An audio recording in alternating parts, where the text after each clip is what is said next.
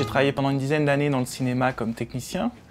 Et euh, en fait, je suis arrivé à l'écriture de romans complètement par hasard, puisque je préparais un long métrage qui est tombé à l'eau. Du coup, euh, je me suis mis à écrire, parce que mon, producteur exécutif m'a poussé à l'écriture. Il m'a dit, tu devrais sortir des choses de toi. Et puis je me suis mis à écrire, et c'est comme ça que j'ai sorti en, en très peu de temps d'eau à la mer. Dos à la mer est complètement axé sur euh, la relation entre un enfant, enfin un adolescent et son père. C'était ça qui m'intéressait dans cette, euh, dans cette histoire.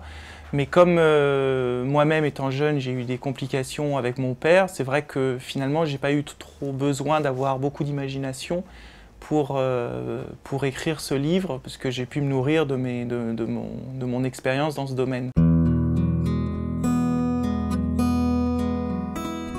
Dans Fin de Bobine, je voulais raconter surtout l'histoire de la, fin de vie, c'est-à-dire le passage d'une forte activité à la, retraite et, euh, d'avoir le sentiment qu'on nous, nous gare sur une place de parking. Pourquoi j'ai choisi un cinéaste? Parce que je me suis dit, je vais essayer de parler de quelque chose que je connais, euh, même si moi je ne suis pas un cinéaste de long métrage, euh, mais j'ai fait beaucoup d'autres films.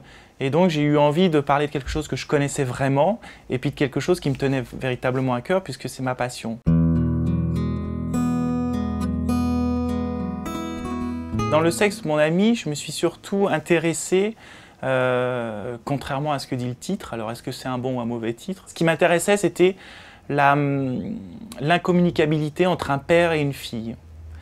Euh, on connaît ses parents, on prend conscience de ses parents à un instant T dans, la vie, et cet instant T, euh, peut-être que votre père, au moment où vous commencez à être conscient, il a 35 ans, il a 40 ans, il a 45 ans, mais en fait on sait très peu sur le passé de ses parents.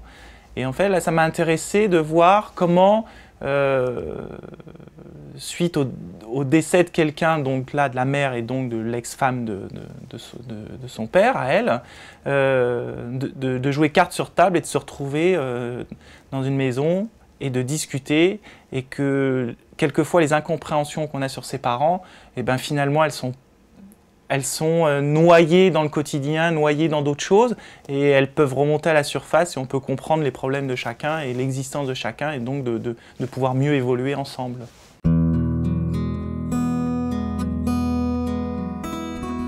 Dans Un homme lucide, j'ai voulu traiter, euh, moi j'ai 37 ans, je vais bientôt en avoir 40 euh, si tout va bien, et j'en ai ras-le-bol de la société qu'on nous vend actuellement et de la société dans laquelle on baigne. Et j'ai eu envie, euh, avec un petit ton humoristique si j'ai réussi, parler de plein de choses du quotidien que je ne supporte plus euh, et dont le personnage est quelque part un petit peu en rébellion. Et, euh, et je pense que nous avons tous un petit pouvoir à n'importe quelle échelle de la société. Et, et c'est ce que j'ai essayé de dire à travers un homme lucide.